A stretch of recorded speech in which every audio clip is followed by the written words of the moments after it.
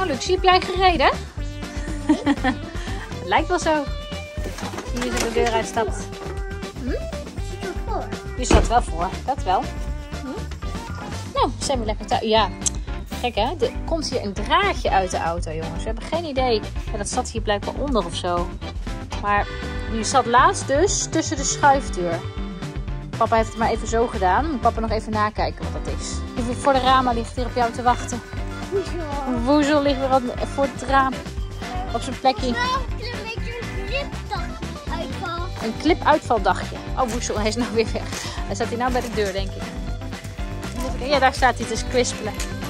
Hij zit altijd te kwispelen. Elke keer uitgevallen. Ja, je hebt ook van die, eh, van die gladde haartjes, hè? En Nee, ik woes. was aan het buitenspelen. Toen Ja? mijn clip niet gevallen was, Ja? dan had ik hem kwijt. Oh, gelukkig heb je hem weer gevonden. Gevonden.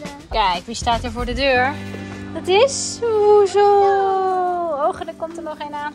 Hallo, Pippi.